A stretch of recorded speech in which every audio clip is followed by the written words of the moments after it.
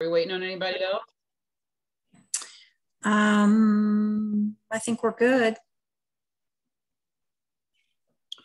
Okay, well, uh, without further ado, um, I call to order the uh, Ways and Means Committee meeting. Roll call, please. Uh, Chairwoman Sims. Here. Alderman Gould. Here. Alderman Shelton. Here. Alderwoman Tice. Here. All members are present.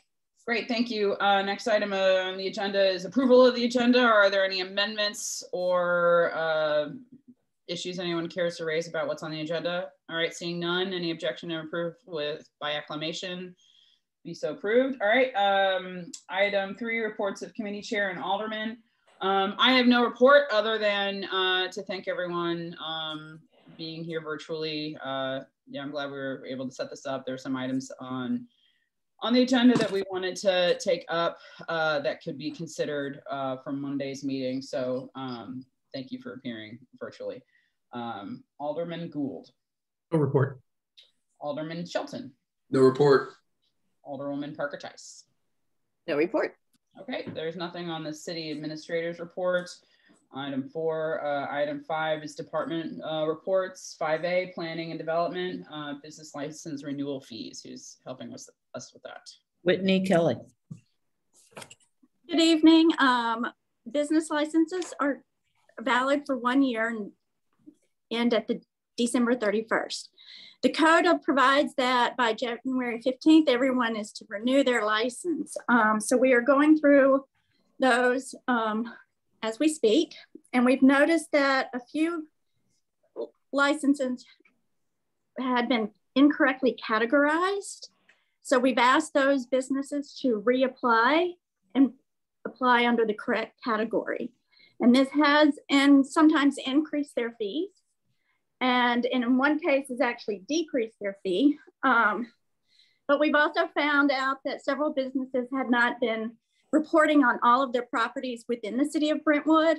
Um, some have not paid business license since 2018. And the code says that when they're delinquent, there's a 10% penalty.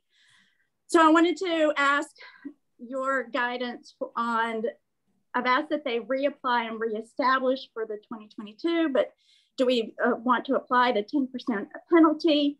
um, and then have them reestablished for the prior years to get them back in line? Or do we want to start from just now and pay the 10% penalty and, and that's it? Um, there were a number of businesses that have contacted us, contacted us that said, oh, well, it looks like we forgot to pay since 2018. Um, so I'm just asking how you feel we should reapply. Also, there was another business Millman Lumber that is located on 5.99 acres. They were paying $50 business license fee for 500 square feet. So I have sent them, um, asked them to reapply under the correct category as a merchant for gross receipts. They have not responded at this time. I'm following up with the letter, but they may contact y'all as well. Um, so I wanted to give you a heads up on that. Um, so I guess the first first question, it seems like a lot. The first question is the businesses that are delinquent and are looking to reestablish themselves. The code says that there's a 10% um, delinquent fee. Um, so the, the request or the question being asked is would you like us to start anew instead of imposing that 10% fee, delinquent fee, because it goes back multiple years and it could possibly be expensive depending on the classification for that type of business. What what's the level of magnitude? I I'm not not having applied for a business license in Brentwood, although I'm sure my firm has one. Um, what are we talking about annually? I mean, and are we talking about people who are just willfully not paying, or are we talking about people who tried and maybe unbeknownst, you know? They fall into both categories that you just mentioned. yeah, it does fall into both categories. Um, and not to throw anyone out, but Met Meridian Medical has about seven properties in the city of Brentwood. They'd only been paying their business license on two of those. Um, the other five um, hadn't had a business license since 2018, as far as we can tell. Um, so, so, those fees are like a thousand dollars for one property. It depends on um, how they, the square footage of each property or the building with, with, within which they're operating. Um, one business was paying as an office use and was paying $1,140. Um, however, they really should have been a gross receipts. And so their bill went up to $6,000. $6,027. Uh, so it, it just runs the gamut. It's just based upon gross receipts is 1.25, $1.25 for every $1,000 of gross revenue. Um, exception business such as offices is 10 square feet or 10 cents per square foot of the business. So like Millman Lumber indicated on their business license that they were 50 square feet, but they have 5.9 acres. so, and they listed their business type as a merchant. So therefore we said you need to reapply as a merchant. I don't know the total impact of that on their business yet. They haven't reapplied or indicated gross receipt uh, revenue yet. So some of them, it might be easy for us to do a calculation, but those who are submitting gross receipts for the first time, um, we have no way to really determine what that number could be. Right. Well, I mean, for my first reaction is, I mean, it seems like we ought to apply the code, and if there's a reason to make an exception, or if the code allows for one, I mean, you know, if if, for example, someone applied and they selected a form of classification that we didn't correct for several years. I, I don't know if we can necessarily, I mean, I, I guess I kind of want to, you know, apply the law evenly and, and, and if it's appropriate to make an accommodation or if someone raises an objection, you know, it seems like we ought to deal with it that way. I mean, that's my gut reaction, but certainly, you know, if a committee's got. If I may also interject, if you remember, there was a particular case last year where that business owner um, really challenged the city hard regarding the delinquent fee and we made that business the city made that business pay up. So um, just to to remind you of that um, that maybe we need to be consistent in its application.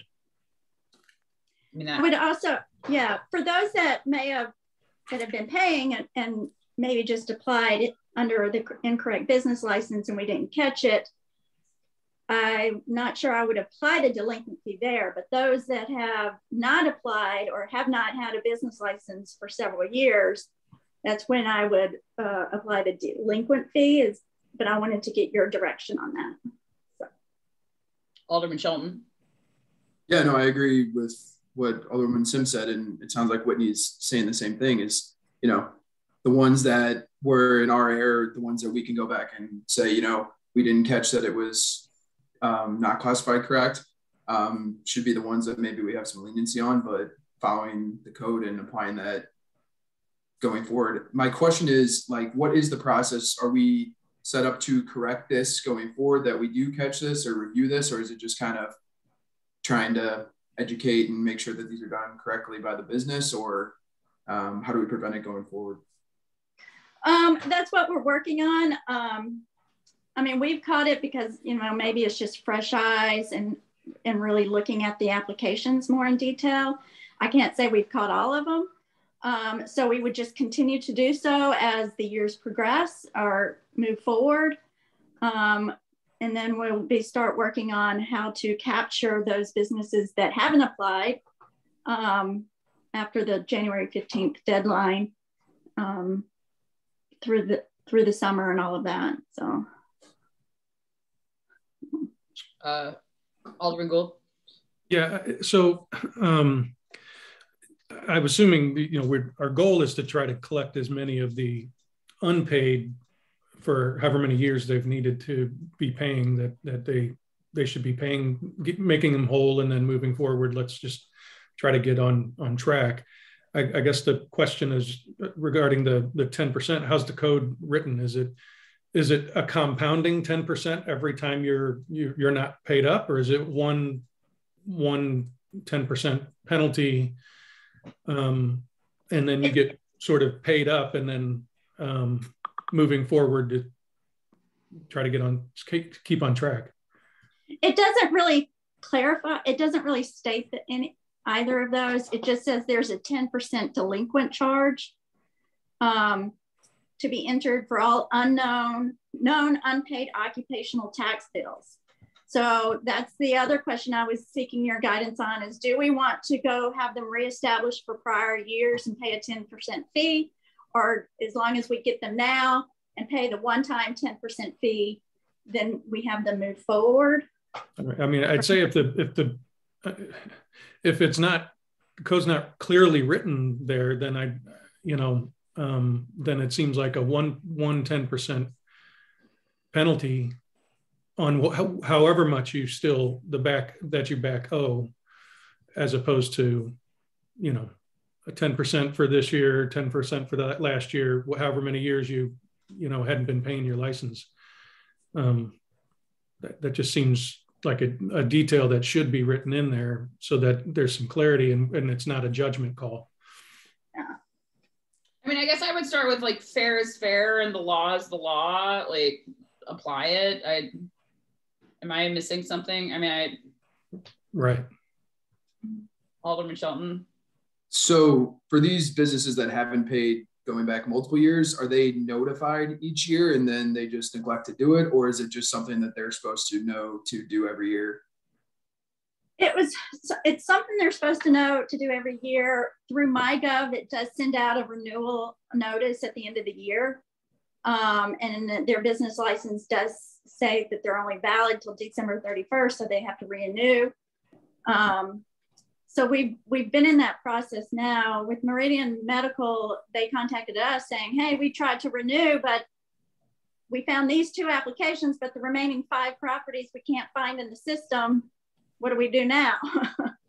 and then another one is we've gotten a phone call from someone saying, "Hey, I realized I apparently didn't pay a business license, but I've been here for 20 years." uh, so right now they've contacted us for the most part the others we've caught as we're reviewing the applications if they've been in mis incorrectly um, putting it uh, cat categorized. Um, and then we, we would work on how to identify those that did not renew um, and those that might be in the city that never received a business license. So. Alderwoman Tice. So are there businesses that are you just looking back three years or are there people that could be 20 years back? I mean part of i, I think we people need to pay what they owe but there's also sort of a, if the city hasn't looked at this for and figured it out for 20 years then I, think it's sort of unreasonable for us to then go back and demand this when we just now caught it. So i don't know if we, we there's a we could look back if we're looking back three years and fixing from there forward and imposing the penalties. But I also think there's some sort of a, you know, even when you're audited, yeah. you, the IRS can only go back so far. I right think now, there are accounts that we know that for whatever reason, I, I don't want to be mentioning names of businesses that we know have deliberately chosen not to renew and they continue to operate. And when they've come before P and Z for um, for X or for Y. I, I think that's the best example. Um, we've notified them, we've notified their architects or their engineers, and then we've notified that business, and they have still chosen not to renew. So I, I would say previous staff in the planning development department have known about that and have been working on it without success. Okay, so it's not that they're unknown; it's that the businesses yeah. have chosen. Right. Well, that's so a totally the, different situation. What, what's the Thank result you. of willful uh, failure to pay a business license fee? I mean, are they is it like uh, ultimately a civil matter or you know like msd they take you to court for not paying your sewer bill i mean is that what happens or what um, they could lose their license if they don't have it. We haven't gone to the extent of placking the business and saying, you know, you're closed. That that would be extreme. Um, so we haven't done that.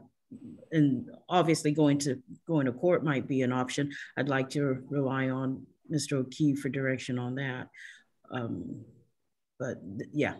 Could, could I mean I don't I'm I'm not gonna put a lawyer hat on and speak out of turn, but I mean it would seem to me if something ha- has not gone, if we haven't made a demand or otherwise enforced something and 20 years have gone by, it seemed to me the statute of limitations might weigh in and you, are cut off at five years. I mean that's I mean, maybe that's. Do you think uh, that Kevin could? Yes. Provide some clarity on that. We've been Whitney's been talking to Kevin about this. Did you ask Kevin? Do, do we have an opinion, Whitney? No, um, I haven't gone back. I've discussed prior years. Um, MyGov is only has business license from 2018. So we've only been following up, looking at the all of the business license since 2018 in our current system. Um, and then one of the the tasks I was looking at doing for our assistant was to contact property owners and say who's all in your who's all operating and give us a copy of their business license, or if they don't have one, they need to apply for one. Um, I mean, people can move into an office and set up shop, and we may, if they don't call for a business license or they don't get the inspection, or if the property manager doesn't require that from them, you know, they could move in and we wouldn't know it. Um, so it's one of the things that I will, we would be working on um, this in the next in the coming months. I mean, I my thought is, and I'm certainly wouldn't, you know, however the committee feels. If you're looking for direction, my thought is, you know, apply the law as written. You know, if they haven't paid, they they should. And you know, look at the strays and outliers and unique situations as as they come about. That sound good? Yeah. Yes. Thank you. We'll, we'll bring you back okay. I mean, well, you're saying that. Does the committee agree? Yeah, does that sound okay? I'm seeing I'm thumbs up in agreement on that issue. Um, okay. So we'll bring back more updates as uh, work progresses. Thank you, Whitney. Okay, uh, so we'll move on. Um, next item, uh, department report 5B is the financial statement fiscal year 2021. Uh, who's who's helping us with that one? Robin Jones.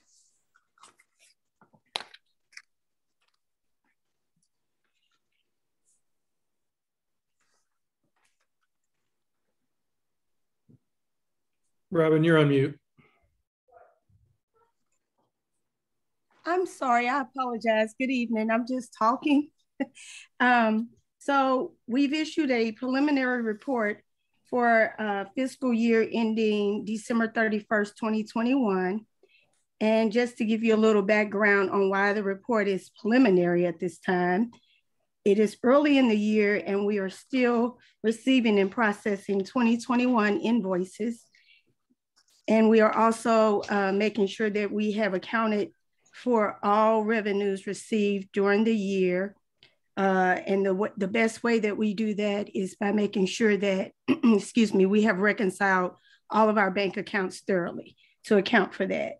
So I have uh, done an analysis, pretty high level of where we stand as of now for revenues for the fiscal year end and um, given some explanations in the report uh, for the variances. This report is actual versus budget.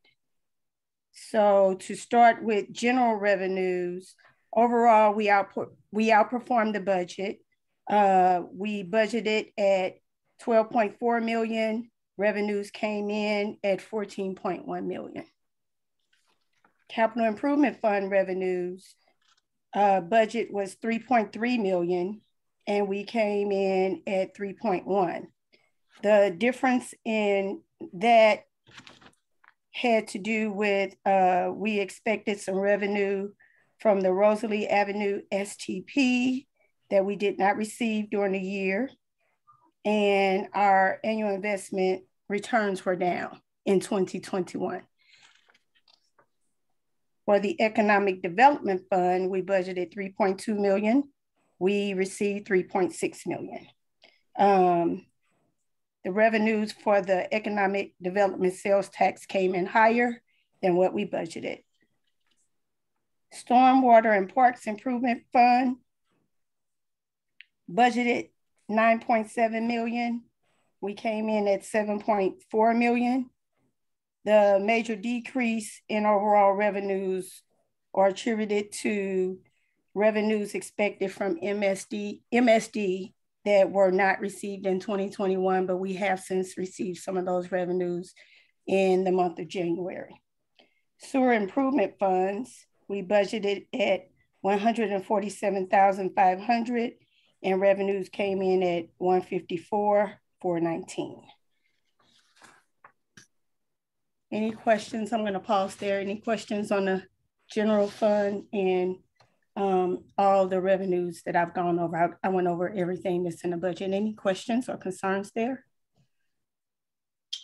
Um, I had a question. As to the um, stormwater, was that just? I mean, did we have we since gotten the money that it would uh, uh, either you know put us on budget or or exceed the estimated revenues? In the last week, uh, we have gotten close to a million dollars uh, in different, um, in the form of different checks. We haven't had a chance to get all of those entered into the system yet. Um, that was our goal this week because we actually got a few checks at the end of last week and early this week, but due to the snow, we haven't been able to enter anything into the system yet. But I think that that will pretty much put us uh, even although we can't show those revenues in last year's budget, if that makes sense, because we didn't receive them until this year. Got it. But would you say overall our, our revenues exceeded our budget numbers? Yes, I, I would, I would, if they, did, if they didn't overall, we were pretty close because we outperformed the budget in almost every fund. Got it. And it's not as if the stormwater, eventually we are going to get that money. We yes. So happened when it closed, we didn't have a check in hand. Correct. Uh, not and, like there's a structural thing that happened and now we have to realign. No, it was just, yes, it, it's just a timing difference. We expected it in 2021 and they didn't start coming in until the middle of January, late January. And most of those are uh, Brentwood bound grant funds okay. from MSD. That all appears to be great news to me. Uh, does the committee have any questions? I'm not seeing any. Alderwoman Tice. I just have a comment on the general revenue and sort of a, a compliment to Bola for the, how she's running things. The on the um, you know we came in so high over budget and we got some unexpected revenues. But even if we hadn't gotten the additional use tax, the ARPA and the CARES revenue, from what I was looking at, we're we still spent 340 less than um, than um, budgeted. So uh, you know, just kudos to careful financial management in these uncertain times. Thank you to the department directors as well. Um, only able to do it because of them. So thank you. Yes, I mean we're we're in great shape. So I think that's you know, thank you to to, to Bola, to the department heads, this committee, know, so this this committee too, because it's uh, this is a tough committee. I hope you guys know that.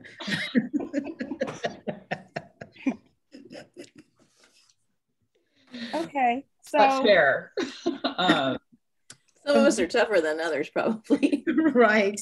You know, we also have department directors. Um, I think I checked, and there's like 28, 20 people in attendance at this meeting tonight. So um, I guess maybe the next presentation for Robin is operating expenditures. And so if you all have, you know, if you have questions, department directors are also here to answer your questions. Robin. Okay. So um, department expenditures. Um, first, I did a, I performed an analysis uh, just for the general fund And we have two departments that overspent, um, but these will be taken care of as part of the budget amendment. So the expenses um, were higher than budgeted in administration due to miscellaneous contractual expenses for consultants. Um, that line item, that's the reason for that um, overspending, but it's uh, specifically in one line item, if that makes sense. Um, for municipal operating expenses, uh, the expense for the IT contract with the city of Clayton was underfunded and it looks like it has been historically underfunded. So we will be working to move that expense, uh, move the budget and expense in alignment with each other so that we can avoid that. Um, all other departments, overall, their actual expenses were less than budgeted.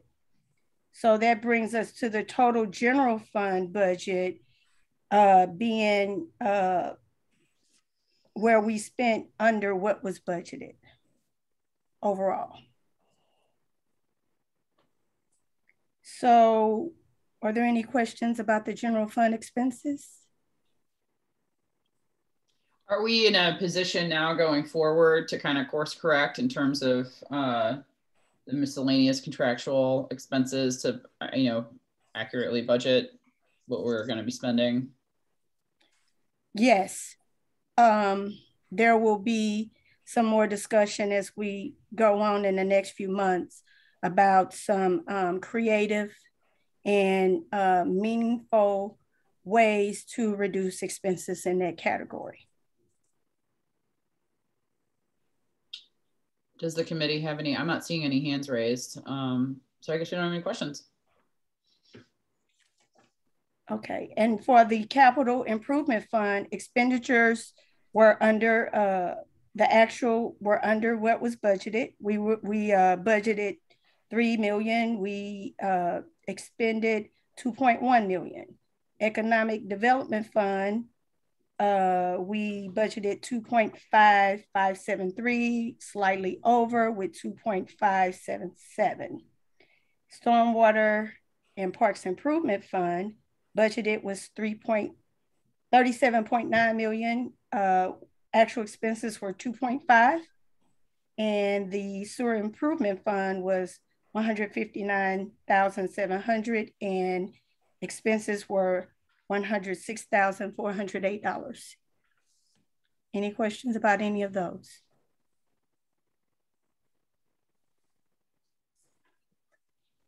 Thank you.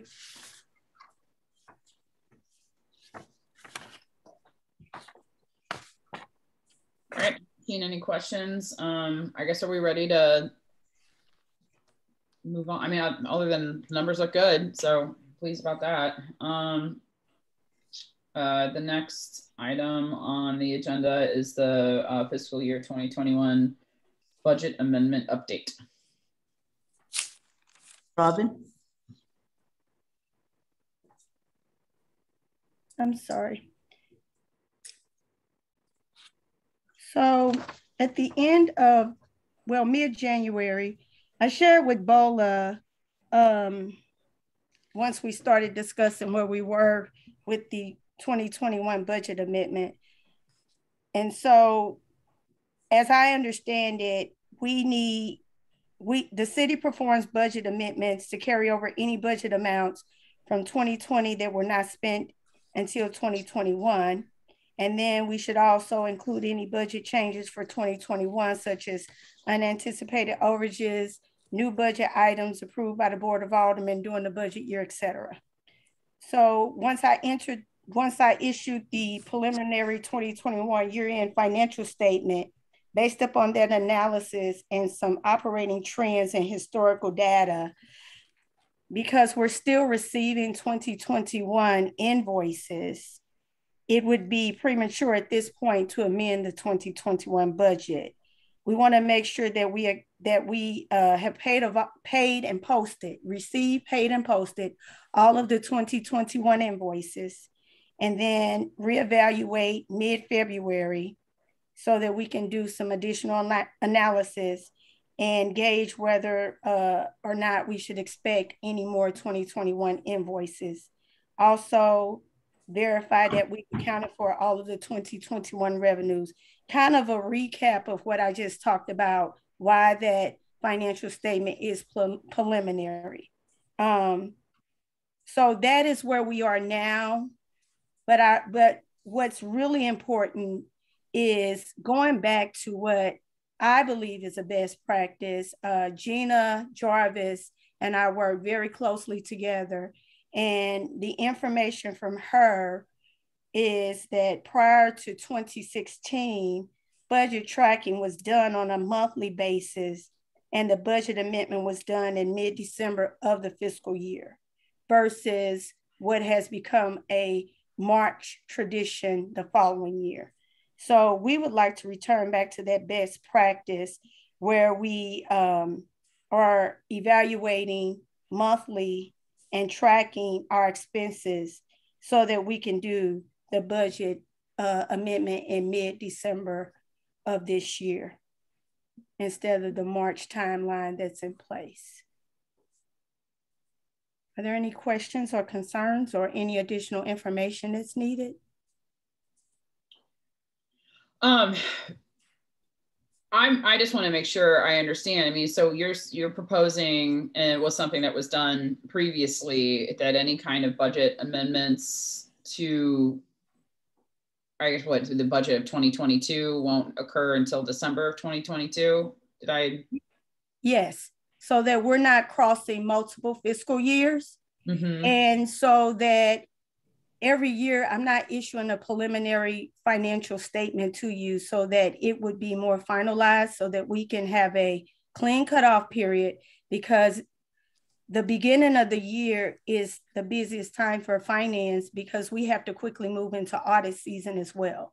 So this will allow allow us not only to be able to issue finance uh, finalized financial statements, but also we would be preparing for the audit, simultaneously because we would need all of this work to be completed before we uh, start our audit.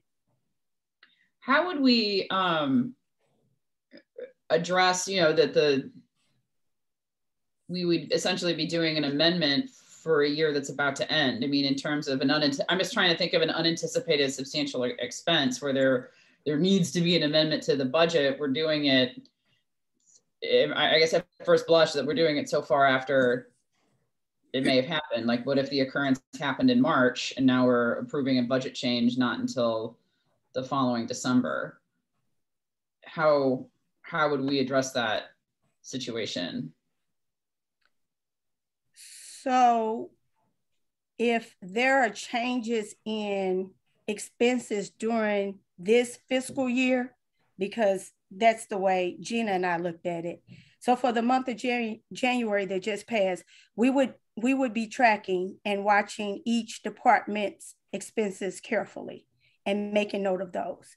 And we would do that every single month until we got to the end of November and mid-December where we could make a good guesstimate as to what lines are over or under spending so that we could have a have a budget amendment done completed during that same year versus waiting the following year and three months later to amend. The, to amend the difference the is in operational procedures, internal operational procedures.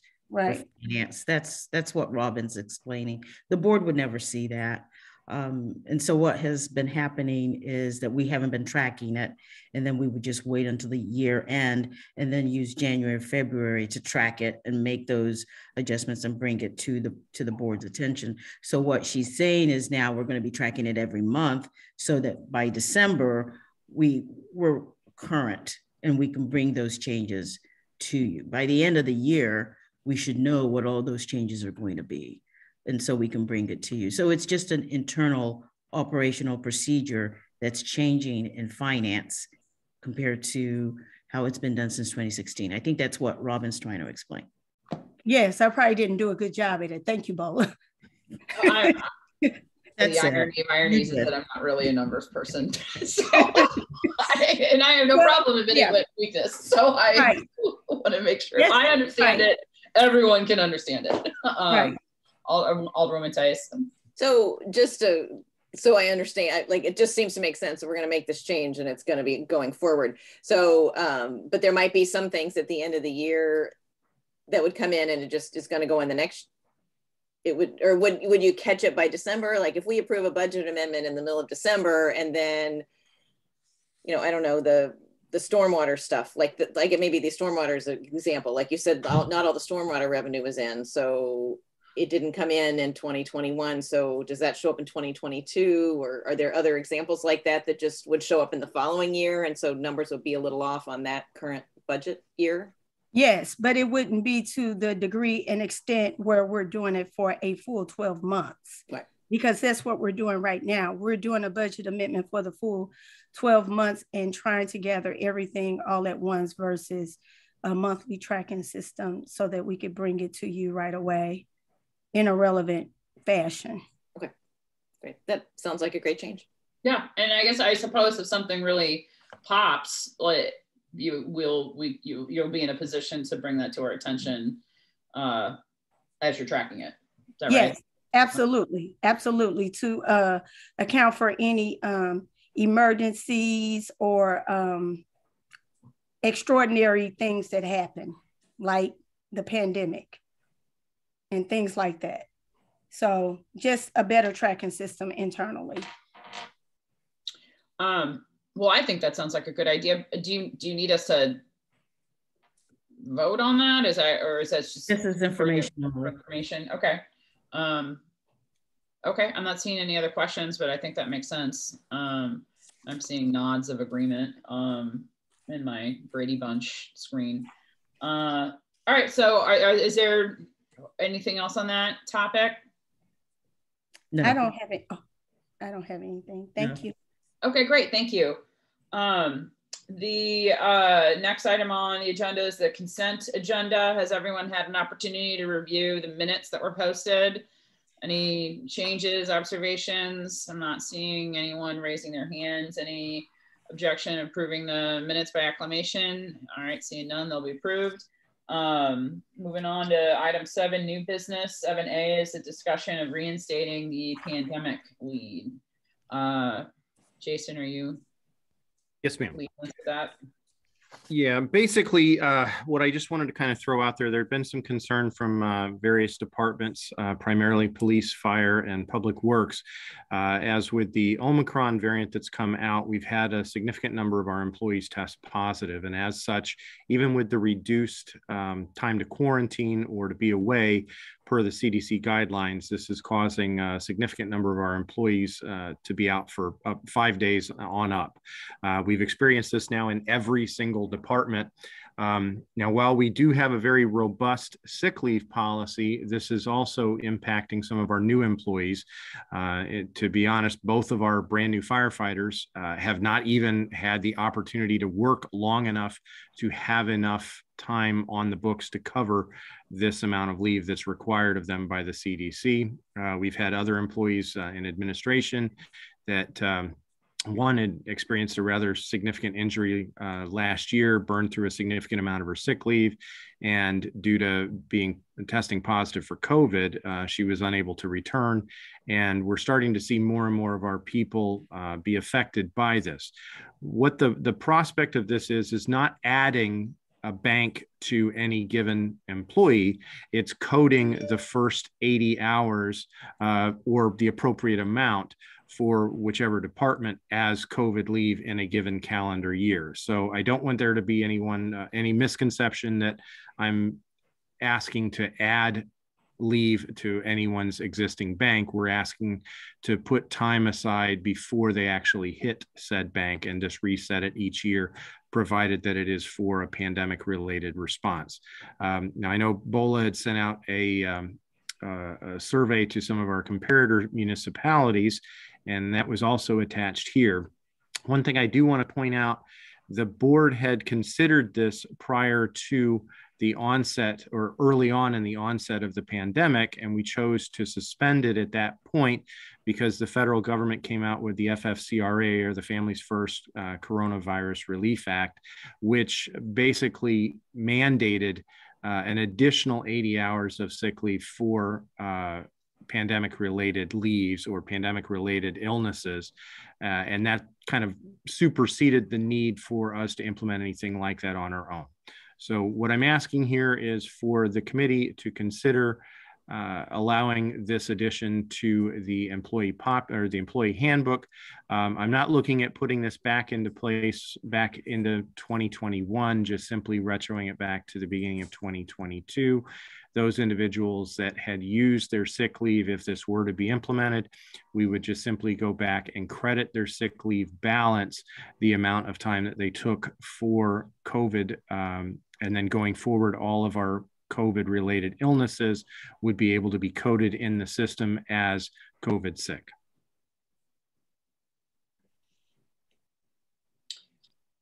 I just want to make sure I'm understanding it. So if I am, if I'm sick with COVID and I don't go to work, am I using my sick leave or do I get this special COVID sick leave? Currently there our, our employees are using their sick leave or whatever PTO they have available.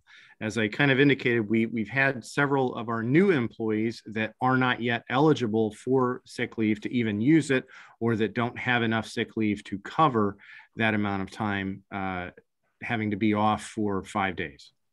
Right. No, my, my question is if this under this policy, are they getting like 80 hours of COVID sick leave? Is that what or it, however whatever the time is? Yes, it would be the the sick leave that they would have otherwise been using will be coded as COVID sick. And that would be then on top of whatever sick leave that accrues already. Yes, ma'am. Is that right? Yes, ma'am. Okay, Correct. I wanted to. But it, it's not added to their bank. I just want to make sure that that um, we're not. Um, this would only be applicable for individuals that have this particular illness. Uh, I'm not suggesting that we add an 80 hour uh, additional amount to every single employee's bank. It's only in the event that they are out with um, pandemic related illness that we then code their illness as COVID sick until they hit that cap of 80 hours. Right. So it, it's the most likely reason of being out sick at the moment, though, I'd say. So they get, I don't, they don't, uh, employee doesn't have any accrued sick time.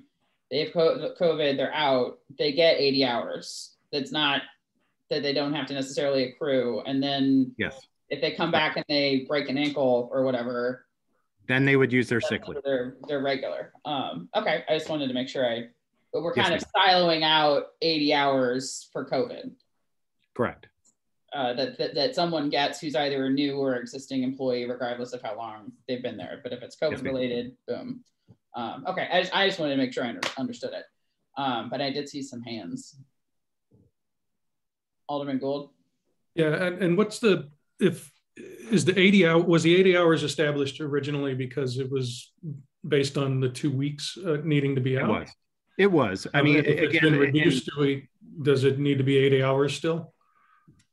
Or, that's, or are that's we, for the committee to decide.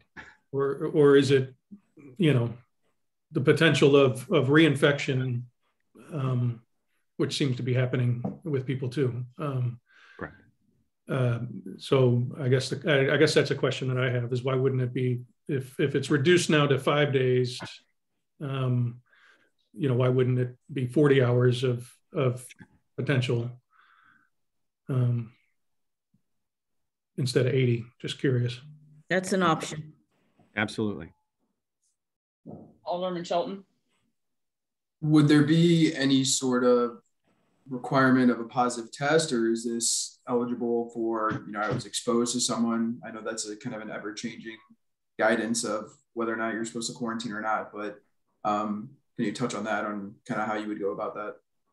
Uh, absolutely. Um, up till now, we have been able to, to test in-house when we have someone that is either unvaccinated, they're required to test on a weekly basis, or if they're symptomatic, uh, we are able to test over at the fire department and they are able to get that result back within a 24 hour, or excuse me, within a 15 minute span. Uh, and then if we have a positive test, invariably they do test a second time just to validate that test, make sure there wasn't an issue with it. Um, the way things work currently, if an employee is out for greater than three days at a given time for uh, any related illness, we do require a doctor's notification for that. So I, I would think that in order for an employee to qualify for this, they would need to present uh, a positive test. Now, whether that's a test from the fire department or if they choose to go and get uh, an a test outside. Um, but again, currently we are allowing tests internally. And for all those employees that this that have currently tested positive, the fire department has been sharing that information with myself and the supervisor and then the positive test results are going in their their medical file. So as an example i already have that data for the individuals that have been out but have been using their own personal leave thus far because they're out for greater than three days already. If you look at the example i mean the survey particularly city of creve coeur um, so that aligns with what Alderman Gould just said, that because of the new CDC guidelines, they were giving 40. So 40 hours of pandemic leave.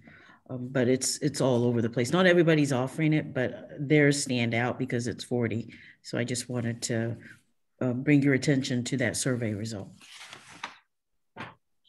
Are we differentiating in any way for people who aren't vaccinated and therefore far more likely to get COVID? No, ma'am. Only a positive test. Um, well, does anyone, I mean, what are your thoughts, committee? 40 hours, 80 hours? I mean, I, Alderwoman Tice? Well, I would, but it looked like both Creve Coeur and Maplewood have either 40 hours or five days. It just depends on the um, how they reported it. Um, I mean, but I guess I sort of think that's reasonable because that's the um, that's the new CDC guideline, and um, I like the stipulation that if you're out more than three days, you have to have a um, some sort of proof of a test. Um, I would be in agreement with something like that. Yeah, and I'm not sure whether I. I mean, I think if we didn't have a COVID mandate already, I would definitely think we should tie this to COVID vaccination because it might be a nice carrot, but I don't know what I think about sort of neutral on your question, Sunny, just now about whether the people like this only counts, you only get the leave if you're vaccinated. I'm not sure what I think about that. Well, I mean, I wasn't, it, I'm asking the question. I'm not saying I'm going to propose an amendment. I just put an emphasis on it. Um, but I mean, I'm inclined to think that, I mean, as someone who had the Omicron uh, virus, um, I mean, I, I wasn't five days. Was, I mean, I was fine after five days. I mean, I'm in, I'm inclined to think 40 hours and proof of either a test or exposure uh, after the third day.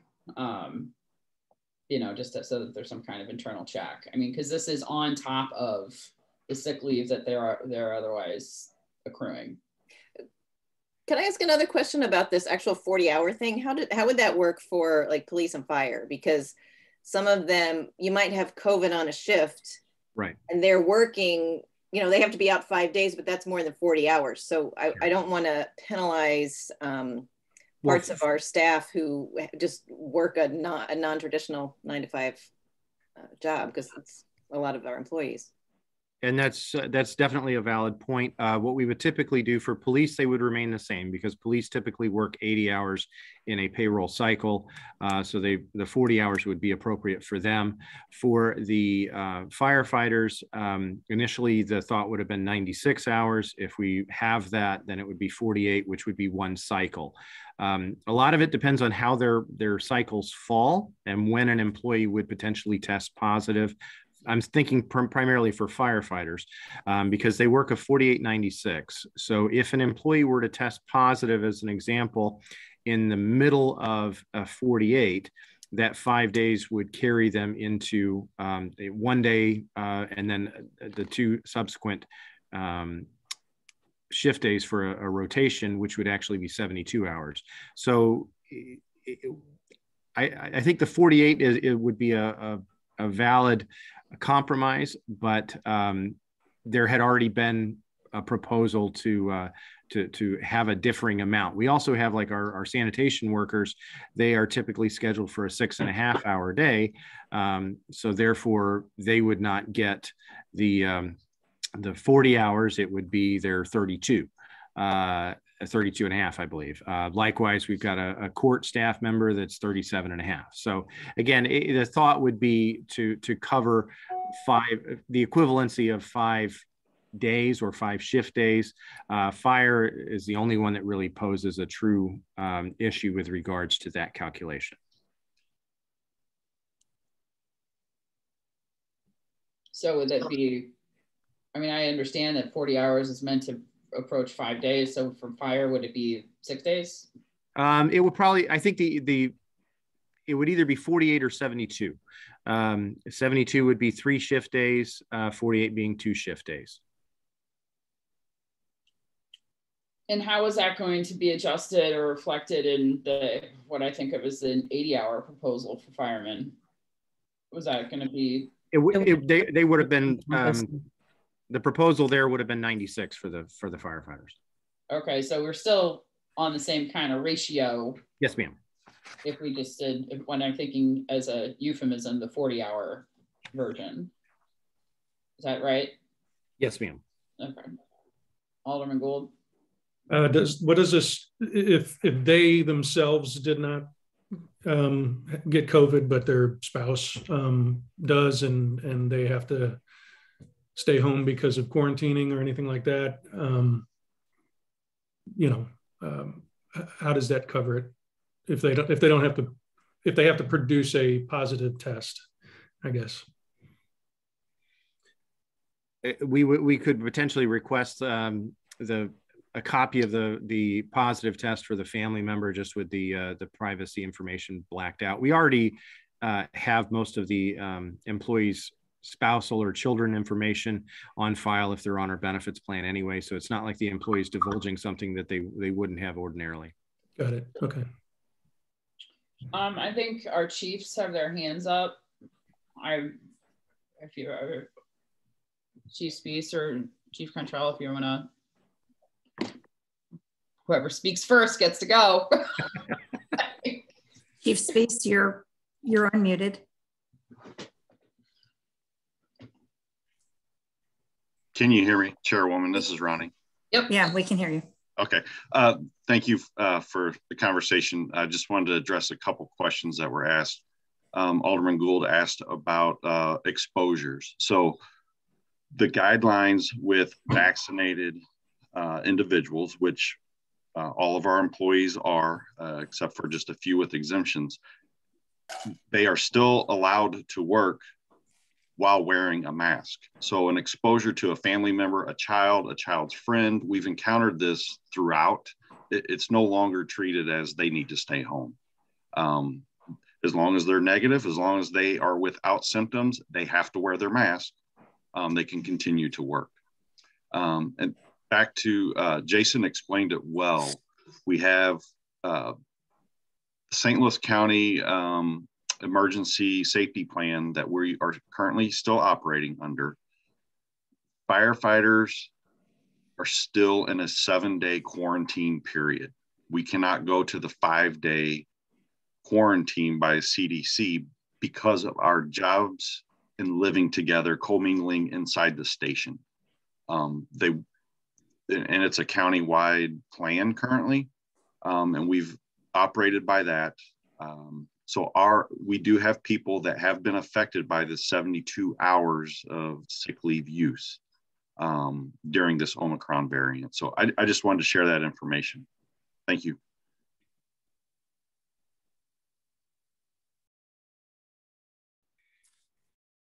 Um, I guess it I don't know what happened to Chief Spees. He's not there right now, so I don't know what. So it just Ronnie, just so I understand, if you I guess if someone has it and they're symptomatic, um, they've got a, a fireman's got to be out for seven days. Is that? Yes, that is correct.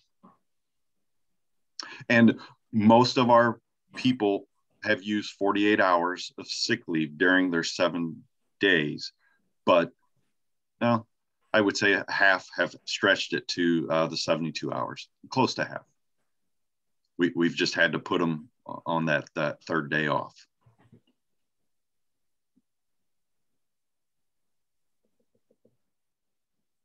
I I guess I'm inclined to think that unless there's some kind of superseding requirement of being out, you know, or the someone doesn't have a choice of, and the fireman being an example of that, um, that it would, I, I mean, I'm inclined to think the 40 hours would be sufficient over, over the 80. I mean, cause this is on top of their sick leave. I mean, I, know, it's not, it's not like we're you know, and I, I think we're dealing with a different kind of variant. Um, but I am sympathetic that if they, they don't have a choice and they have to be out seven days, that seems like a horse of a different color. Um, are there what are thoughts on that? Yeah, I would agree with that. If there's some other something superseding, I mean, if we're trying to follow COVID guidelines and there's something for certain members of our staff employees who are doing some having to follow some other guidelines that seems um, like they shouldn't be penalized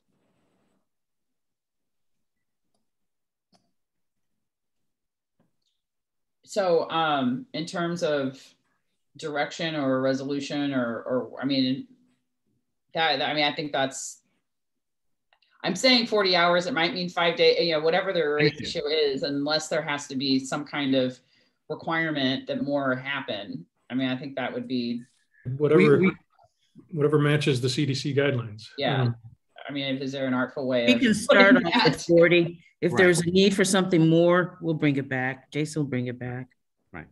Right. It, it could be written in such a way to provide that exception. Okay. Before, before, it comes to the board, we'll have legal take a look. So absolutely, one hundred percent. I have some of the wordsmiths, you know. Yeah.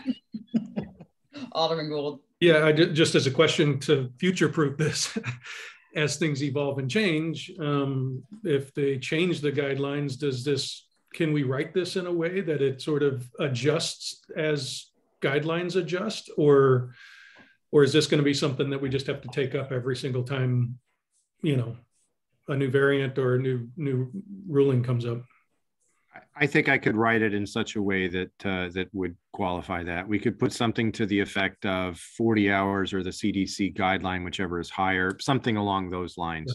Uh, and then if there were to be a change that would dramatically have a budgetary impact, I would definitely bring it back to Ways and Means to let you you be aware of of the potential downside to something like that. Okay. Do you need anything further from us or is that, is this direction or do you need a resolution? A motion and a vote.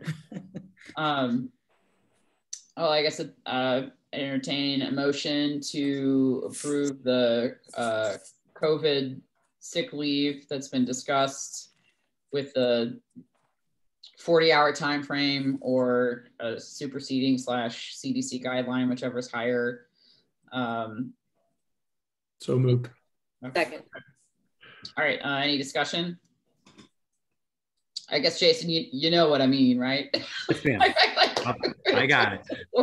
okay. I will, I will um, do what I can to get this. Uh, yeah, I didn't. I didn't know how artfully, uh, but you know, I think I, I, think the sentiment's been captured. Um, yes, ma'am. Uh, so, um, do we need to avoid uh, an individual vote, or can we just do an up down?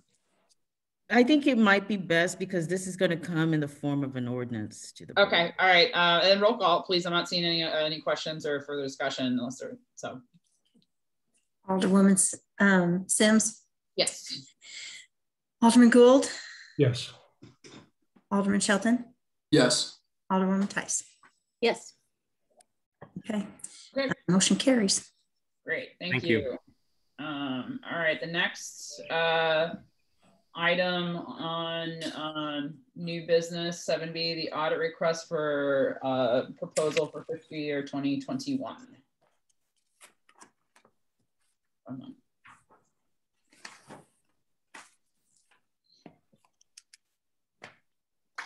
Robin's presenting this one as well.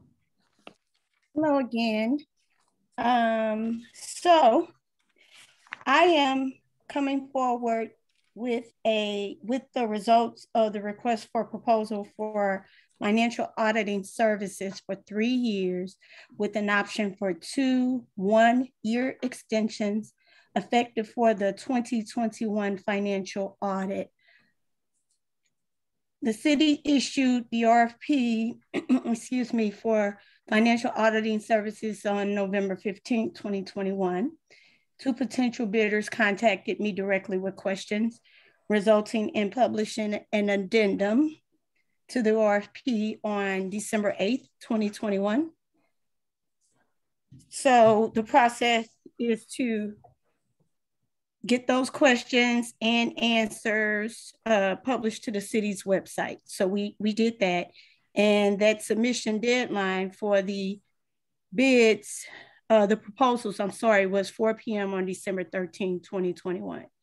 The city received zero proposals by that deadline. So in some discussions with BOLA, I recommended an addendum to the RFP to extend the deadline with the closing date of January 7, 2022 at 4 p.m. Two potential bidders contacted me directly prior to the publication of addendum two, um, expressing interest in submitting a bid due to some internal issues that were going on with their firms. And they were advised to see the city's website. Clifton Larson Allen LLP, also known as CLA, was one of the firms that contacted me on December 20th, um, expressing interest in submitting a bid. And they were the only firm to offer a proposal for the services uh, that met the deadline of January 7th at 4 p.m. The proposal we received was well prepared. Um, and I'm happy to inform the committee that CLA is the eighth largest firm in the country. They have experience in delivering audit and accounting services, as well as other financial services.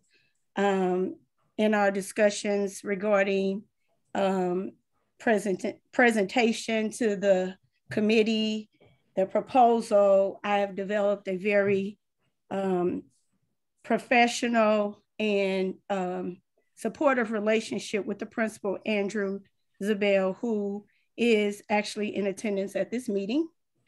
Um, I've checked their references.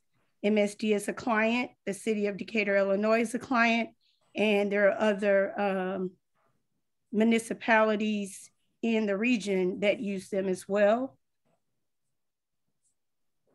They are, uh, they have 4,150 governmental clients nationwide, and that includes cities, counties, municipalities, states, and state agencies, and school boards.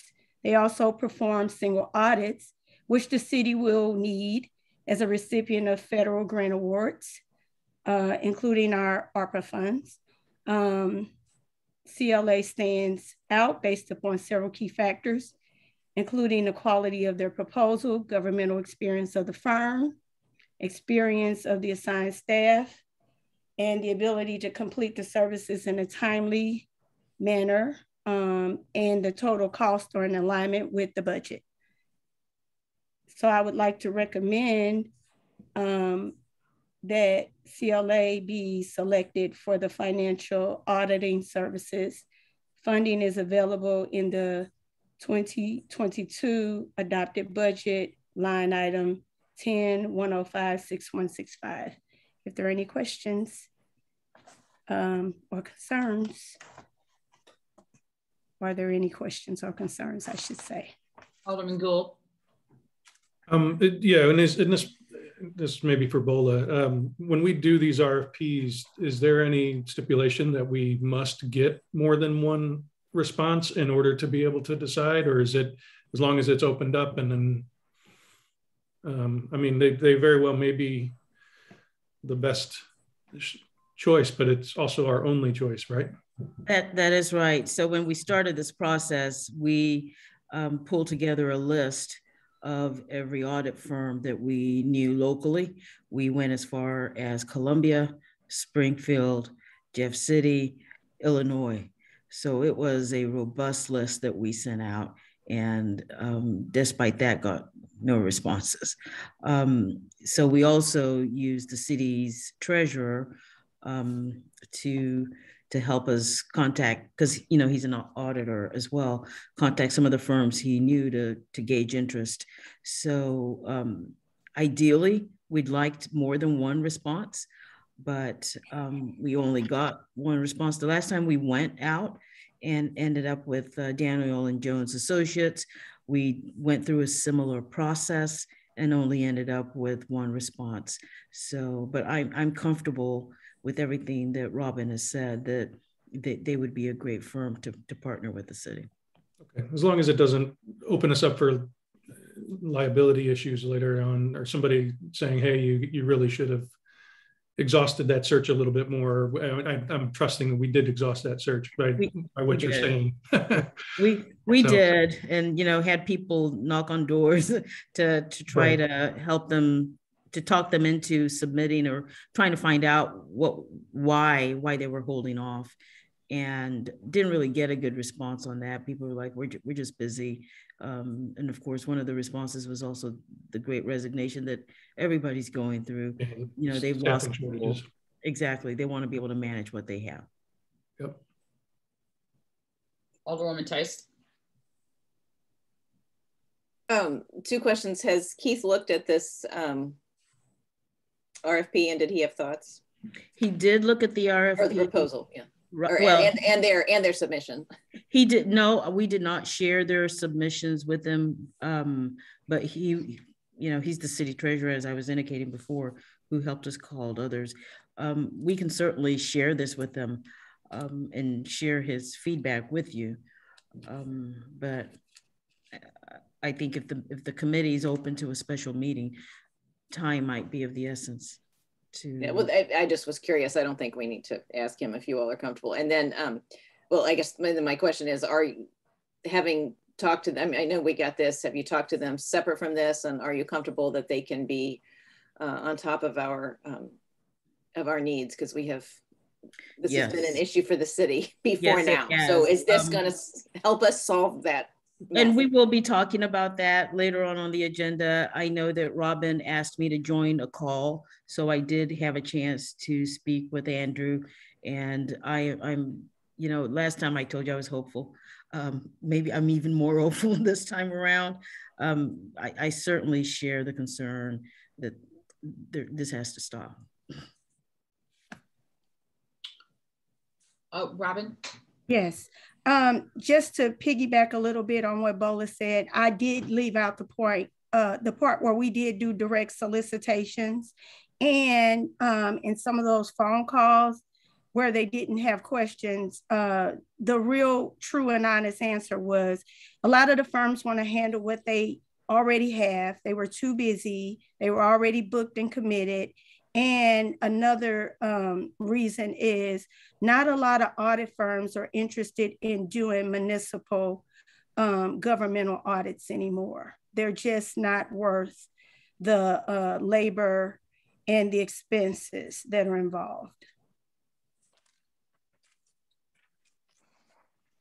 Well, I would say given, you know, their CV and their size and their existing clientele, they certainly it would seem to me that they're obviously this is harder given our troubles and our tales of woe uh, you know than than you know people aren't you know firms aren't able to handle it. Um they seem as though they, they are the type that can. So i in that regard it seems like they hit on all cylinders even um so i mean i'm inclined to let's go forward and hopefully now once and forever we will no longer be confronting the issues that we have had with our audit and getting it done. Um, are there other questions, comments? I'm not seeing any. Um, so I guess uh, since I'm not seeing any further questions, I, would entertain uh, a motion to recommend the Board of Aldermen to select CLA for financial auditing services. So moved. Well, second. All right, that was uh, first by Alderwoman Tice, second by Alderman Gould. Um, any discussion? I'm not seeing any hands raised, so roll call, please. Okay. Uh, Alderwoman Sims, Yes. um, Alderman Gould, Yes. Alderman Shelton, Yes. Alderman Tice. Yes. Motion carries. All right. Great, thank you. Um, and then uh, on to old business, or uh, item eight, uh, A, revisions to the Brentwood Municipal Code, Chapter 135, purchasing.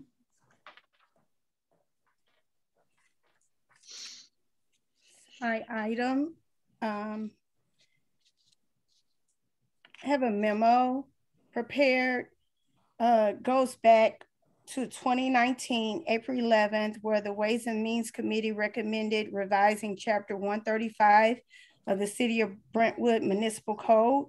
And the committee uh, recommended the following option for um, purchasing limits. Purchase amount, budgeted purchases for less than 2,499 uh, gives the conditions where it may be obtained in the most expedient way possible. Um, this does not preclude obtaining quotes for purchases. Uh, so budgeted purchase purchases 2,500 to $19,999 require a minimum of three quotes. Um, and the ways to get those are by email, regular mail, telephone, or fax. And budgeted purchase ex, purchases exceeding 20,000 require formal bid or request for a proposal to be solicited and approved by the Board of Aldermen. So the recommendation was never taken to the Board of Aldermen for approval. So what we're asking for in this memo, uh, after reviewing the purchasing codes from the City of Clayton, Kirkwood, Maplewood, and the City of Richmond Heights, uh, we learned that the City of Brentwood has the most restrictive purchasing policy. And so the intent, the intent of the recommendation was to build more efficiencies across all departments while keeping controls in place to satisfy the Board of Aldermen as well as the residents. Staff is recommending that the Ways and Means Committee reaffirm the recommendation from 2019 to revise the City of Brentwood Purchasing Code and forward the new purchasing limits to the Board of Aldermen for their approval. Do, do we know why this never made it up to the Board of Aldermen? Um, I think it was just workload um, and greater priorities. Because I, I, I had to jog. I mean, I, I remember this vaguely. Mm -hmm. I had to kind of jog my memory, um, and I, my recollection was that the reason it was improved was well, the understanding would be that we're just going to have to come through the budget um, and look at these expenditures closely and that that's the time to hash out particular line items that might fall into these categories. And and i feel like we do that at length uh, several meetings. Um, so i mean so that that's because i don't the, the makeup of the ways and means committee is is different now. Um, so I, I just wanted to make sure, you know, since you know, I don't think I think I'm the only one that was on that on that committee. Right. Um, so I th- I think that that was the um, the thought of why that was um, why this was approved. That you know, it's not as if we were blindly greenlighting, you know, expenditures under twenty five hundred dollars. It's that, that we would have an opportunity to evaluate in, in the budget process. Um, so that was as best as I could. That that that was my memory of it anyway. Um, Alderman Shelton. So the issue we just took up, notwithstanding, is it are we fairly in a good position that we normally get a minimum of three quotes? I I just read this as I know the the purpose is to have more efficiency and um, just kind of being newer. Obviously, the the last issue is is in front of mind, but kind of the the majority of things that we do get proposals on, we don't have an issue getting the three proposals. No, we don't. Um, now, some items must be sole sourced, but that is um, that's really across all cities. Uh, having been with the city of St. Louis for 12 years, that was not uncommon because there are some commodities, products, and services where there's only one provider that do does, you know, that's able to do those things. But for the city of Brentwood, in most of everything that comes through, there's normally three quotes um, backed up with the CRA request if it's over $499. So we are following the purchasing uh, policy and the financial and the city's financial policies and procedures. And then Robin, when you said that our you found these or in other research that um, these are more restrictive, it, that's more so to the, the threshold limits? Yes. Um, in some ways, the staff staff has been coming back asking the board to reapprove essentially some purchases that were part of the adopted budget. And that is not an efficient and effective use of time, especially given um, we're a smaller city and um, we kind of operate um, tightly, meaning we are not overstaffed. We have just enough people to handle the workload.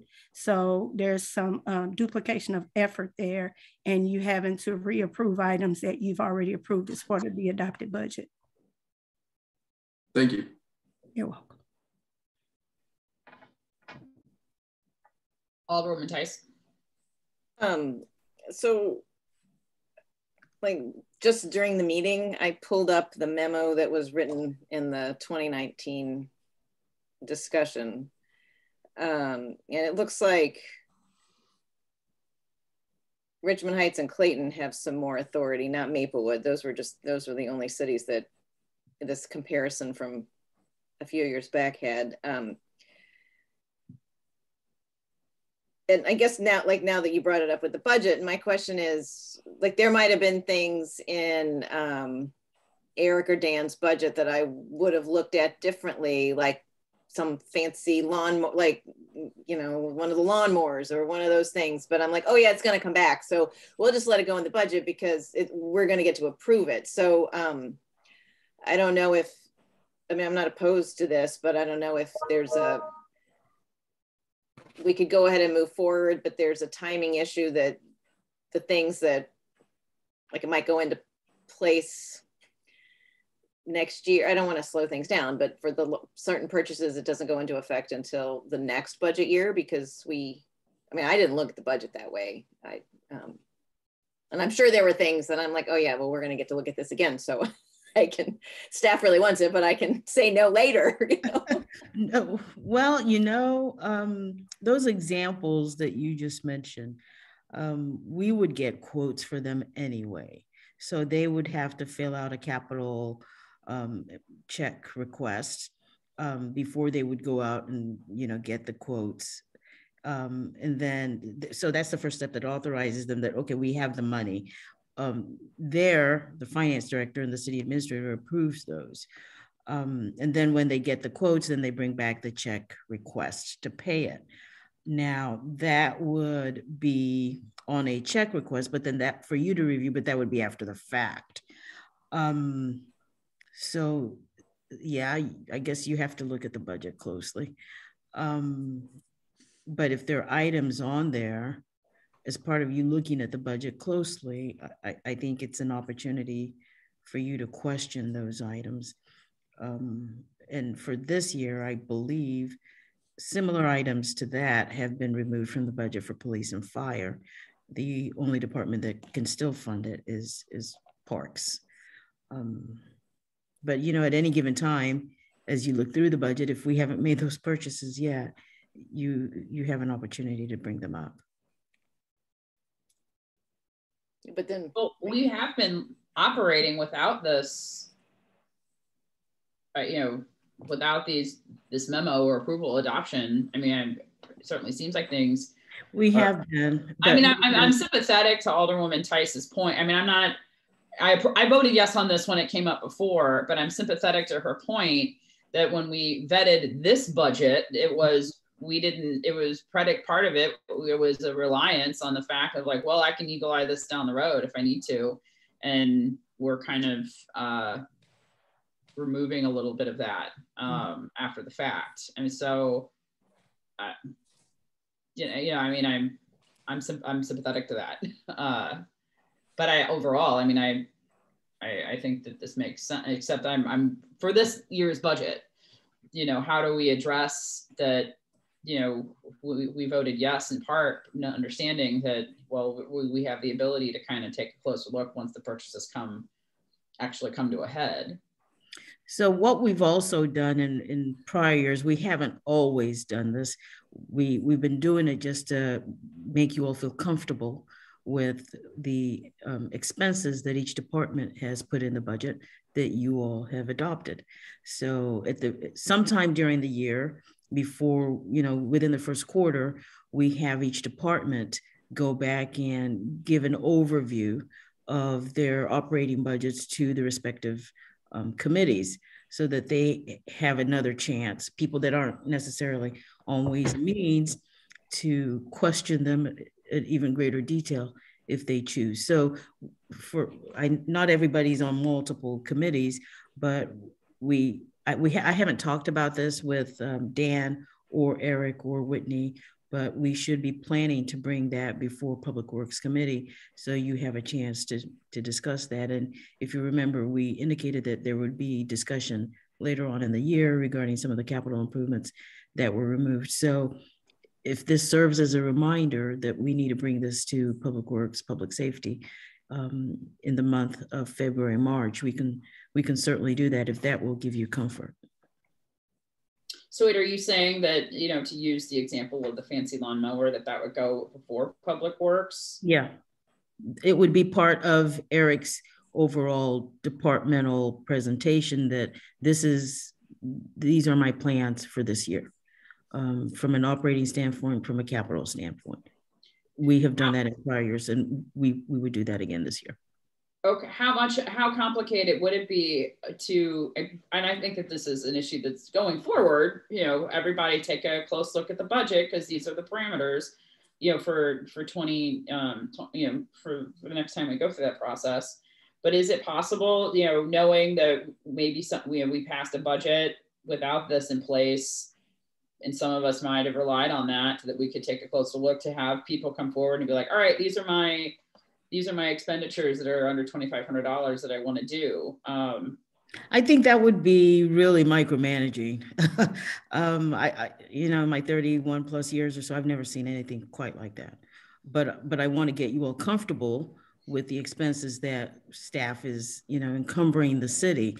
But to, to start looking at everything that's over 2,500, um, don't those appear on the on the warrant list? They appear on the warrant list. They those that are less appear on the checklist, but if we have to bring every item, so that's what we were trying to get around having to do by by coming up with this policy in 19. But if you're if you're not comfortable um, quite yet doing it, then because there are new people on this committee, then then that's a different discussion. Well, Alderwoman Tice. Well, if I could look back at what was actually approved, I looked at the, I found the minutes and um, it said motion by Alderman Wegge to take recommendation one, I there must have been different recommendations to the Board of Aldermen, includes a certificate of participation as long as the audit system is continued and the procurement takes effect after the 2020 budget is approved. So that's sort of the way it was designed in 19 was to do it like for the next budget cycle. Um, so I, I think I would be supportive of it if we can bump it to bump it to next year. And I would certainly, I mean, we spend a long time at those budget meetings, but I would just have a different lens when I look to the, budget next fall, if I'm, you know, still on this committee. And, uh, you know, I, I'm not opposed to it, but. So if, if you would recognize, I don't know if other department directors would like to just share their perspective on it, but I see Eric, Eric has Eric has his hand raised. Yeah. Okay, Eric. Good evening. Um, just want to make sure everyone can hear me. Yes. Perfect. Thank you. Uh, I just wanted to kind of touch base. I know this is something I've been pushing for for a couple years. I talked to Karen about it when it first started, and and kind of prodded her. And knew she was busy, so it, got delayed. So it's one of the first things I asked Robin about. The, the, the biggest issue as far as my department is the $500 limit. It really kind of handcuffs, uh, not handcuffs the wrong word, but really delays the amount of time it takes for staff to be able to get things done.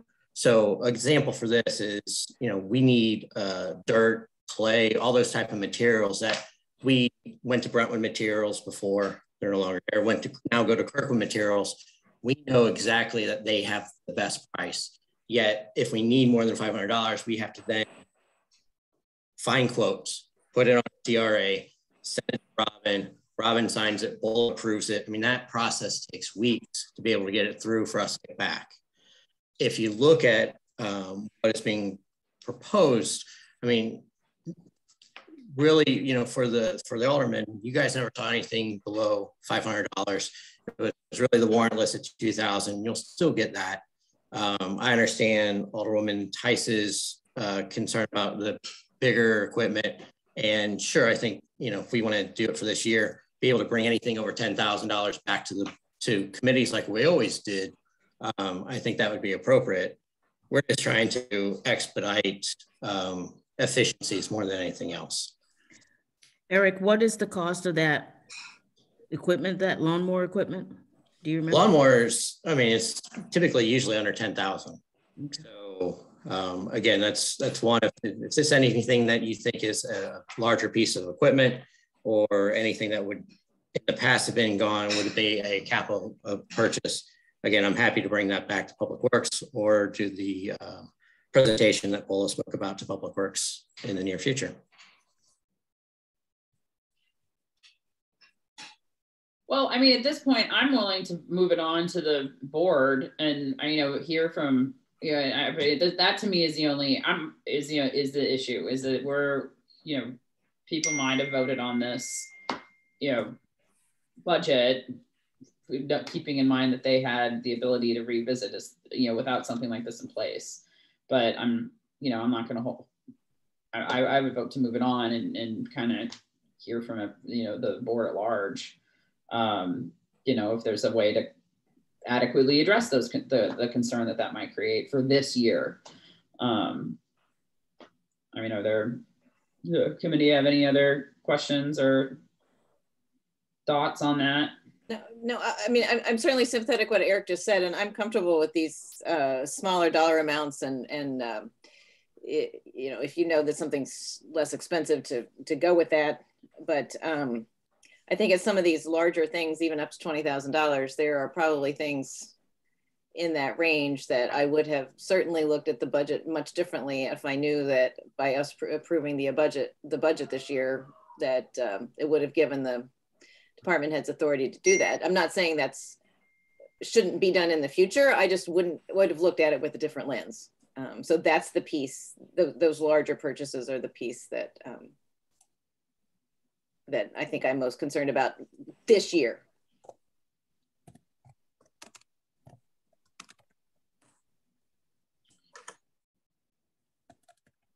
So, in as far as um, you know, I guess just mo moving this up to the board for further discussion, approval.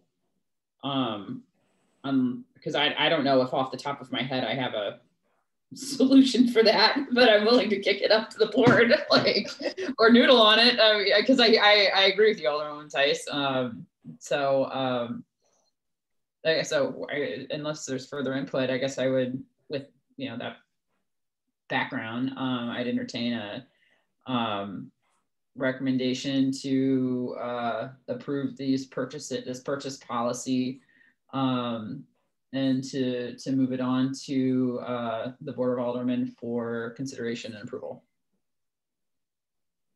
Alderman Gould. Um, I, I guess uh, uh, I'll, I'll, make that motion. Um, somebody wants to second it and then we can discuss. I'll second it. All right, so there's a motion by Alderman Gould and a second by Alderman Shelton. Any discussion?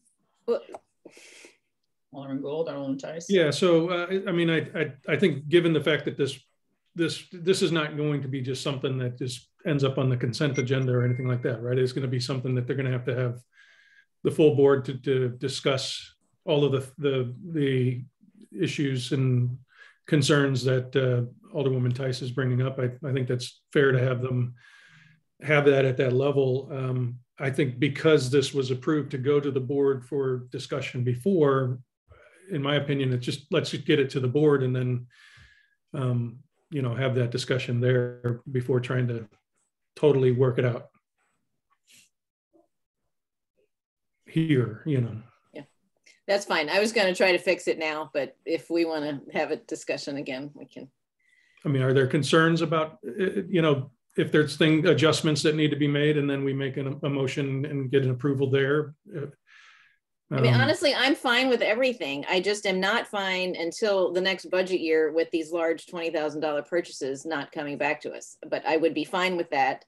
Um, you know, I would be fine with making these other changes about the, um, I mean, it's not in a grid, it's just in words, but the, you know, upping the some things from 2000 to 2500 like that's totally completely fine and then um, about the formal bids upping that you know upping the formal bid amounts i'm completely comfortable with all of that stuff it's just this larger items um, for this calendar year and i would be comfortable approving it for the next budget cycle um, how about we we delay this a little bit and give you a chance to take a look at the budget and see what are your concerns exactly with some of the items that were approved in the budget. That would work. I'd have to pull out my binder again. so maybe we delay if, if the committee is in agreement, um, bring this back to the next Ways and Means Committee. Um, so at least we get the conversation going and um, at least moving moving forward because there there are new people on on the committee, so the thought has changed. That's that just, works for me. Yes. Okay. Yeah, that, I'm, so I'm saying. it's fair. It's fair if we can bring in. Uh, hey, here's a list of of items that might be affected by this change from the, the already approved budget. Are these concerns? You know, I think I think that would be to know what we're actually talking about here. We'll bring this back in um, March. Sounds good. All right, Do you so want to withdraw your my motion? Or table it? I don't know. What whatever. I mean, this is committee level. I mean, yeah. So either withdraw or or remove my table the motion. Yeah. So. All right. So I, I don't think do we have to do this? Is it tabled now? we can move on. well, um, like a religious person your arm. however, however, whatever gets to the finish line. But I mean, I, I hear everything that's heard, and I, you know, and we'll, so we'll take a look at the old budget, and we'll plan that next. We'll come back and, um, you know, look at some specific line items that are concerned, and and hopefully that that'll address concerns, and we can, you know, get something in place. Um, Seems like right. still raising his hand. Did you accidentally leave that up, or is it up? I can't. And then my apologies. It's not appearing when someone raises their hand unless I'm clicking. Oh, I, I raised my hand. I didn't mean to. um, Eric's I, hand is no longer raised, so I guess. Okay. but, but, apparently my hand is raised now too, and I don't know how to do that. So, um, all right. Uh, you always have your hand raised, though, right? Being the right. chair. Eager to talk. Um, all right. Next item, uh, 8B update on discussions with Zobrio Financial Edge. Okay, that's my item two. Um, so we have some very lofty and um, what I would call um, important, as they are, goals for the first quarter uh, so in 2019, Resolution 1159 was passed, authorizing an, and approving an agreement with Zobrio for financial system software. So the city began using the new software in late 2019. However, there are other modules that are available that were to be part of the conversion to allow us to uh, fully automate and integrate uh, helping us to improve effectiveness uh, and efficiencies um, across all city departments. Um, one of the modules was to be the purchase order requisition module. And that one, that module will allow the city to automate the check request approval process. Uh, right now we're using paper that has to be signed by the department head uh, and myself before we can process a check. Um, so using this module will also allow the city to fully uh, integrate the software and help us reduce errors, duplication, and improve effic efficiencies across all departments. So first quarter goals that we're working towards accomplishing related to the financial edge software with Zobrio, which is our software vendor, and um, they're in attendance. Um, we have five major implementations. The first one will be the ZAI budgeting module. And this module seamlessly integrates with the Financial Edge software system. Um, and there are other components that are included with that, which are the not only the budgeting mod module, there are reporting and dashboards, personnel budgeting, uh, Excel designer, and a budget book publisher where we can publish our budget in-house. Um, the purchase of this module has various benefits for the city. Uh, you're going to hear me say automation, automation. I sound like I am a commercial advertising for Financial Edge and Zobrio, but this is important for us to um, keep moving in the right direction in our finance department and across all cities. So this will, um, the budget module will allow us to automate the budgetary process with the capability for collaborating across all departments. We have an implement, implementation start date if this moves on to the board of February 8th with the completion date of June 30th, which will place us in a great position to be fully functional to complete the 2023 budget using this module. The cost is $32,310 for year one and 15,510 for two subsequent years, uh, 20, I'm sorry, for two subsequent years each. Uh, funding has been identified and will require a 2022 budget amendment. Um, so funding was found in salaries part-time, $24,205. Uh, we will not be able, that was for a finance, a part-time finance clerk. We will not be able to fill that position this budget year. Um, everybody's having trouble recruiting and retaining staff right now. Um, and to get somebody to come in to work for us part-time, I imagine we would have to have more funding for that because it's a competitive market right now, especially to get the skill set that we need. So we would want to take that those dollars and use them towards the purchase of this budget module, along with uh, an additional 1500 in educational benefits that were set aside for me to continue my master's program. Um, right now, we are in a, a we are heavily transitioning in finance and um, I would rather use my time to keep us moving forward and delay going back to school at this point. Um, and then Parks and Recreation um, has committed from the Stormwater form, uh, Fund uh, the remaining $6,605 to help us fund this purchase. Are there any questions or comments or concerns? So just to recap, that we've got money in the budget for this. Is the short statement. Yes. Yes.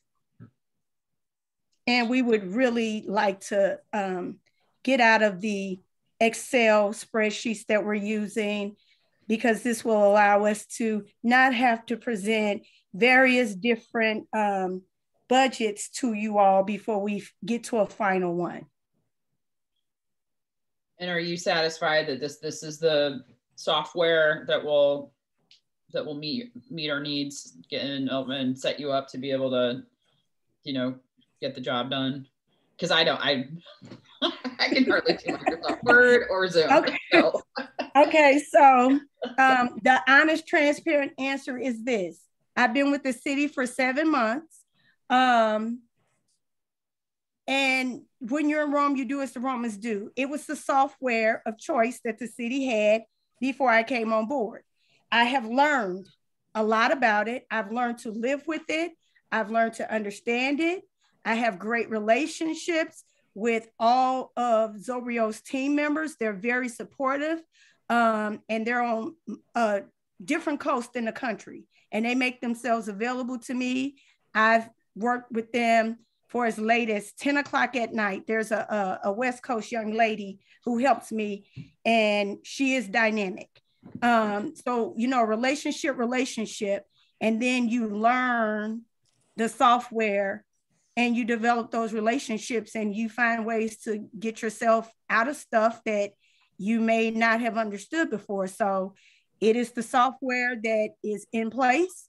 And I believe that we need to move forward uh, and continue to explore the possibilities uh, to fully integrate and automate and make things easier for the city of Brentwood. Alderman Gould. So we're adding you know, automation components and other dashboards that help make um, reporting more efficient. And, and in, in theory, if that's the case, does that cover some of the costs that it would have had for a, an assistant that you were you're deferring?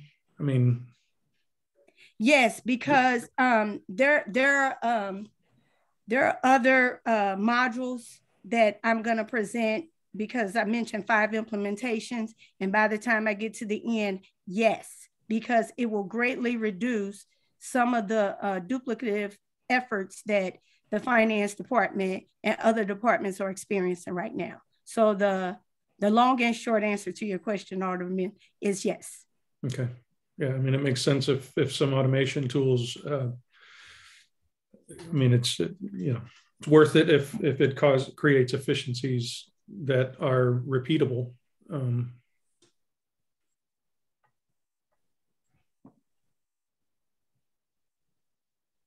oh, sorry, Alderwoman Tice. um, I just want to confirm that the um, you know, this is really expensive. And does that include the time that you spend with the staff or do we pay additionally for that? I know different software companies um, handle that differently. Um, the proposal includes the training, the implementation, and um, the annual subscription price project implementation, configuration, project management, reporting, and assistance with the budget book and training. So yes. Okay, so like if they, you have a question, it you know when you were talking to the dynamic woman at ten o'clock at night, they're not billing uh, they're not billing Brentwood for the time. That that's part of what we are paying for, or do they charge us for questions that you're asking uh, beyond the actual initial training? Um,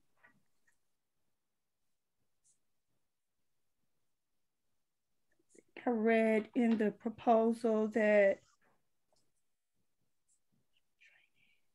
we have 10 hours of training. You're asking like for uh, software support or um, they have 24 hour, um, it's like an information line and I believe that it. Um, Robin, I'm sorry. Matt from Zobrio has his hand raised. He might be able. Okay, to- good. Yeah, because I was just getting ready to chime in and, and say they're on the line. Uh, thank you, Robin. I just wanted to chime in here. Yes, we have included support as part of uh, as part of this agreement. Um, Brentwood has a support agreement with us, and that would all follow fall under that agreement. And that's our current support agreement, correct, Matthew? Correct, yes. We Okay, included so- these new modules under the existing agreement. Got it. So just not to put a fine point on it, Robin calls you at 10 p.m., you help her, it takes hours to do, we're not getting an additional bill other than this, correct?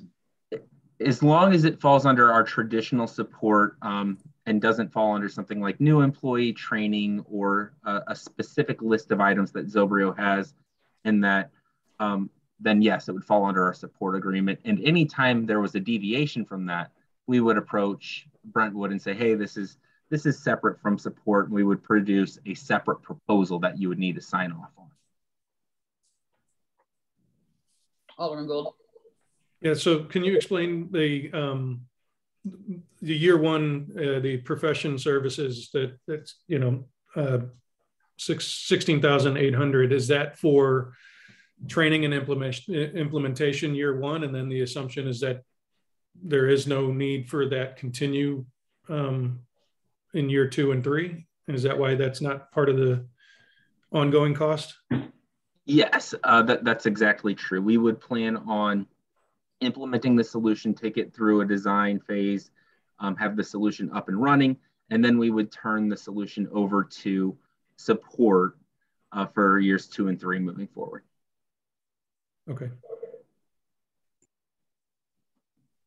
So for years two and three, we're looking at 15,510. That's on page nine of 13 of the proposal.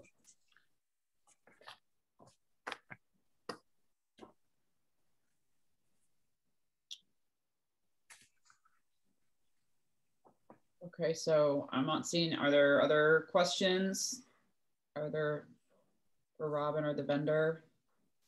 Not seeing any. Bola, do you a recommend a, a, motion? Um, uh, okay, so I guess at this time um, I uh, entertain a motion to uh, approve the uh, financial software uh, agreement with Zobrio as described in the um, attached memo.